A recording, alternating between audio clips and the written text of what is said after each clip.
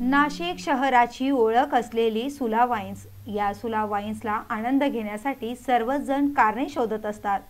नवीन वर्षाचे औचित्य साधत आपल्या परिवारासह गेलेल्या या कुटुंबाला नवीन वर्षाला असेही सामोरे जावे लागेल असं त्यांना वाटलं नव्हतं. सुला वाईन्स येथून नववर्ष साजरे करून येणाऱ्या या कुटुंबाची रिक्षा पलटी होऊन कारवर जाऊन आदळल्यानं या अपघातात सहा वर्षांची बालिका ठार झाली आहे. तसेच तिचे आई वडील व भाऊ हे देखील गंभीर जखमी झाले असून त्यांच्यावर खासगी रुग्णालयात उपचार सुरू करण्यात आले. हे नवीन वर्ष यांच्यासाठी अशा पद्धतीने जाईल आणि त्यांना आपल्या सहा वर्षाची मुलगी गमवावी लागेल हे मात्र त्यांना माहीत नव्हते. Crime reporter Prakash Dhurve Daksh police news Nashik.